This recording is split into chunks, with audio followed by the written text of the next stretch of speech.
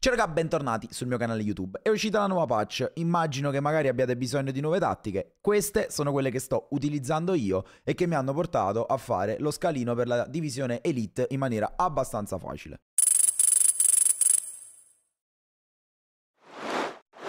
Quando ci sono aggiornamenti di questa portata, di solito si genera sempre il panico più totale e si sente quasi la necessità no, di voler cambiare le tattiche anche se magari questo non deve avvenire.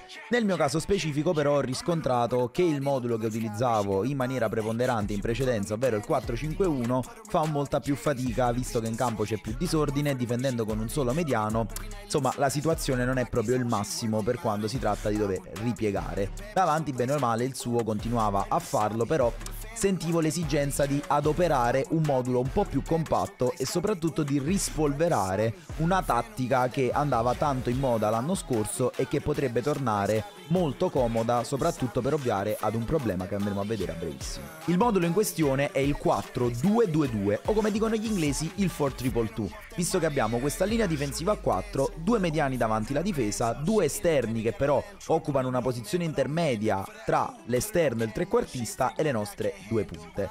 Per quanto riguarda le caratteristiche che noi andiamo ad utilizzare in una formazione come questa per i nostri giocatori abbiamo bisogno di una coppia di difensori centrali che si completa, per cui uno che abbia il gioco d'anticipo, in questo caso Militao anche se non ce l'ha, ha quello stile di gioco perché recupera tanti palloni con i contrasti e Arauco invece ha il blocco plus che quindi ci dà un po' più di C all'interno dell'area di rigore. Per quanto riguarda i terzini io preferisco avere sempre due terzini completi, due terzini che ci danno la possibilità di fare entrambe le fasi. Abbiamo poi la possibilità di andare ad utilizzare due mediani che si completano anche in questo caso, ovvero uno molto più difensivo e l'altro box to box con alto alto che ci permette di poter dare una mano alla nostra manovra offensiva. I nostri due esterni rapidi, veloci, che siano in grado di poter finalizzare e mettere paura ai nostri avversari, quindi nonostante sia stato pacciato io un esterno con il tiro a giro plus lo porto sempre perché con il timed verde vi ho dimostrato nello scorso video che funzionano benissimo e poi le nostre due punte, due punte che devono essere agili, veloci perché avendo due punte del genere all'interno dell'area di rigore minaccio il mio avversario che posso girarmi da un momento all'altro, da una parte e dall'altra, calciare e quindi andare a segnare. Quindi questo per quanto riguarda la disposizione dei nostri uomini in campo. Per quanto riguarda invece le tattiche, e qui andiamo nel vivo del nostro video, andiamo subito a trovare un elemento che utilizzavamo tantissimo l'anno scorso, ovvero rimaniamo con lo stile di difesa equilibrato che rimane una costante no? all'interno di quelli che sono i nostri, i nostri schemi e le nostre tattiche, ma con ampiezza 1. Per quale motivo utilizziamo ampiezza 1? Proprio per il discorso che i terzini, così come gli esterni delle difese a 3 e delle difese a 5, sembrano essere molto più indisciplinati, perdere tantissimo la loro posizione, per cercare di tenere la linea molto più serrata e quindi evitare di dover andare a prendere il difensore centrale in diagonale a coprire il terzino, cerchiamo quindi di tenere tutta quanta la squadra un po' più stretta.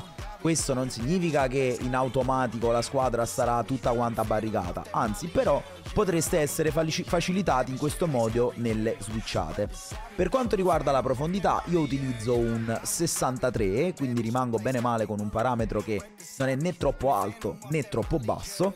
Sulla costruzione della manovra dell'attacco sempre equilibrato con passaggi diretti e per quanto riguarda l'ampiezza utilizziamo un 45 visto che il 422 è un modulo abbastanza largo e andiamo in questo modo ad utilizzare un parametro leggermente sotto quello mediano ovvero il 50 in maniera tale da far sì che i nostri esterni riescano ad avvicinarsi alle nostre punte e a rendersi più pericolosi. Sui giocatori in area per favorirne gli inserimenti utilizziamo 6, invece su angoli e punizioni utilizziamo 2. Per quanto riguarda le istruzioni, partiamo come al solito dal portiere, che dimentico sempre di cambiare, gli mettiamo uscite sui cross e portiere fuori dai pali, per evitare dunque che i nostri avversari ci crossino oppure ci vadano in contropiede in maniera indisturbata.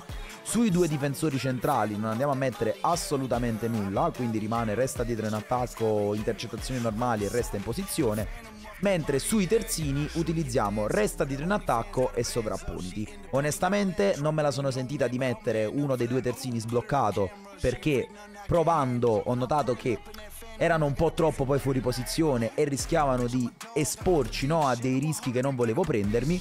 Per quanto riguarda i due mediani, utilizziamo sul nostro mediano più difensivo, intercetta le linee di passaggio, resta dietro in attacco e copertura al centro. Per quanto riguarda invece il nostro mediano un po' più box to box, utilizziamo intercetta le linee di passaggio e copertura al centro. Cosa vuol dire? Vuol dire che lui con attacco equilibrato avrà la possibilità anche di poter salire per dare una mano alla nostra manovra offensiva. Per quanto riguarda poi invece i nostri due COC barra esterni, utilizziamo rientra in difesa ed entra in area per il cross per entrambi. Questo cosa vuol dire? Vuol dire che rientrando in difesa andranno a comporre la nostra linea tipica del 4-4-2 facendo schermo e dando una mano ai terzini, mentre con entra in area per il cross appunto andranno a creare grattacapi ai terzini avversari, liberando spazio ulteriore per le nostre punte. Punte che anche in questo caso non andiamo a utilizzare in maniera speculare, ma utilizziamo sul nostro attaccante di destra solamente rimani centrale. Per quanto riguarda invece l'attaccante di sinistra, utilizziamo rimani centrale, inserisciti alle spalle e rimani mani in avanti. Questo per quale motivo? In maniera tale che andando uno dei due in profondità riesce a schiacciare quella che è la linea difensiva del nostro avversario permettendoci di poter manovrare poi palla, arrivare fino al limite e trovare magari l'altra punta libera che grazie alla sua agilità e grazie magari ad un 5 di skill può tranquillamente girarsi ed andare a colpire indisturbato. Un'ulteriore modifica che potete fare se volete stare un po' più coperti e avere un baricentro ancora più bilanciato o mi andate a mettere rientra in difesa su una delle due punte oppure quando inizia la partita mettete ripiegamento attaccante in maniera tale che gli attaccanti arretreranno sulla linea di centrocampo favorendo dunque una prima fase di pressing in maniera molto più coerente anche se non andate a prendere voi l'attaccante e ve lo portate dietro. Raga, anche per questo video è tutto, fatemi sapere nei commenti se le proverete e fatemi sapere soprattutto con quale modulo state giocando voi e quale vi sta piacendo di più. A me non resta altro che augurarvi una buona giornata, un saluto al vostro Liberoschi e a presto. Ciao.